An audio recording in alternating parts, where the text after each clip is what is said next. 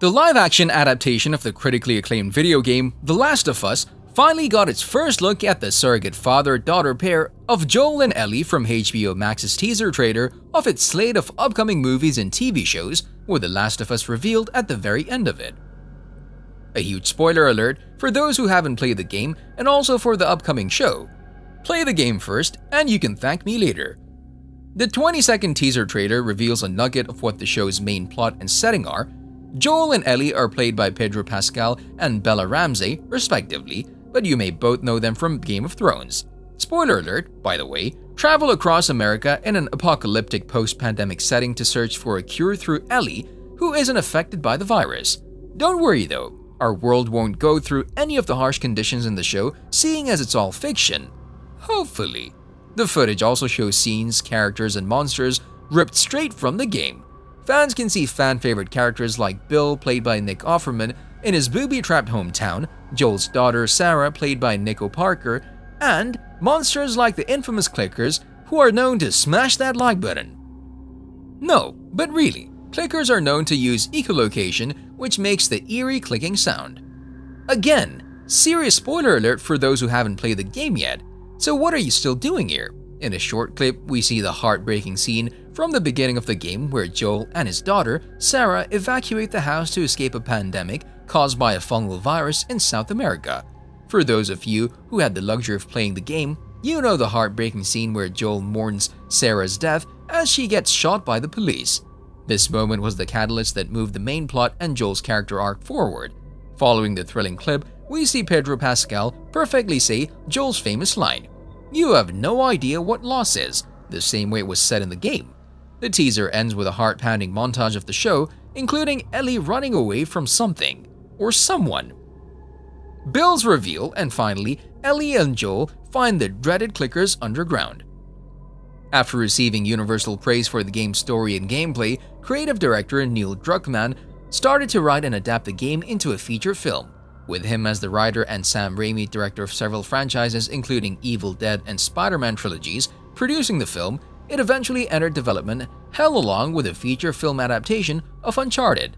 The cancelled movie adaptation of the game would have been so good with the original game's creative director writing and the king of gory jump scare horror Sam Raimi producing it.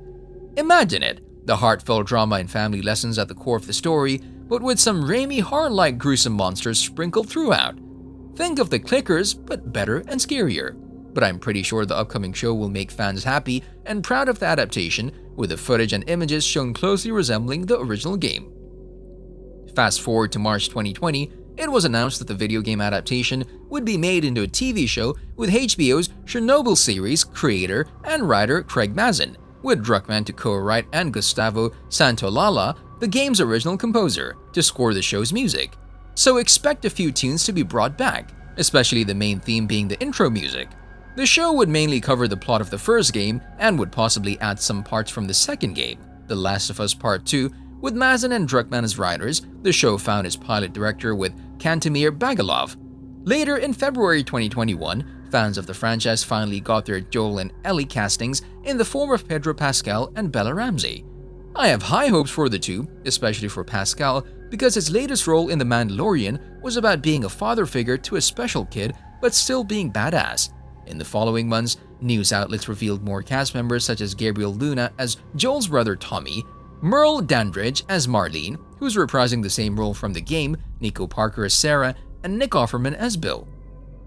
Filming began on July 2021 in Calgary, Alberta, after the cast and crew had their two-week quarantine in Canada. The fans' thirst for any crumbs of news about the show had their thirst quenched when an image of Pascal and Ramsey in full makeup and costume was revealed on The Last of Us Day on September 26, 2021 on their Twitter account. Later, in June, photos were released both officially and unofficially. An official still of Joel and Ellie hiding from a clicker was revealed by Neil Druckmann in Summer Game Fest. Coincidentally, on the same day, a series of set photos and video showing Pascal and Ramsey in costume exploring the apocalyptic town were leaked. And on August 21st, we finally saw the first footage in the form of a teaser trailer for the show. A full trailer is coming, I can just feel it. Maybe by the last days of the year, we'll get the full trailer for the upcoming show. I, for one, am really hyped when it drops. Now, it's no secret that the show will take inspiration from the first The Last of Us game. Look at the facts. Ellie is still a kid, scenes are stripped straight from the first game, and not to mention the cast is made up of the main and secondary characters from the first game. But for most adaptations, there will also be major and minor changes from the source material. The same can be said for The Last of Us. Maybe it'll plant the seeds for the second season, which would be an adaptation of The Last of Us Part 2, and be smoother in transitioning from the plot in the first game to the plot in the second. So what could the changes be from the original game to the show? Well, Mazin confirmed that the changes from the game to the show would make the story better. He said, so the changes that we're making are designed to fill things out and expand, not to undo, but rather to enhance. It's not like we just decided, well, wouldn't it be cool if there's one episode where Joel and Ellie got on motorcycles and confront a motorcycle gang? There's no episodic nonsense here. The things that are new and enhancing of the storyline we're doing are connected in organic, serious ways that I think fans of the game and newcomers alike will appreciate. I think that what Mazin meant is that there will be parts of the show, for example, Bill's town. It was a short mission and part of the story of the game.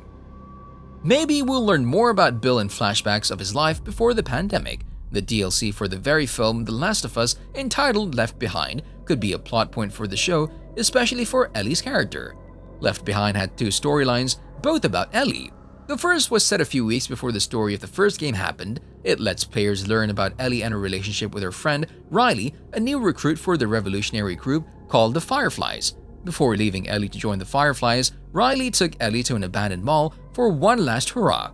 It ended with a group of infected chasing down the two girls to infect them. They succeeded with Riley, but it was then and there that Ellie learned that she was immune, thus triggering you to smash that subscribe button and ring the notification bell, and essentially the plot of the first The Last of Us movie. To say that Left Behind would be a part of the show's main plot wouldn't be too far of a reach. Riley has already been cast and will be played by Storm Reid. Maybe it'll be told to us the same way in the game, set during the wintertime when Joel was injured and Ellie finding supplies to help both of them. Maybe in the show, that plotline will be longer and enhanced based on what Mazin has stated on the show. What do you think could be some changes or improvements from the first game to the show that would make the story better? Would there be some awesome plot twists we'd never expect? A certain character killed off or turned out to be evil perhaps? The possibilities for the show are endless. Well, there you have it. A first insider look at The Last of Us show will be revolutionary for pop culture, and I can't wait to see what's next. See you in the next video.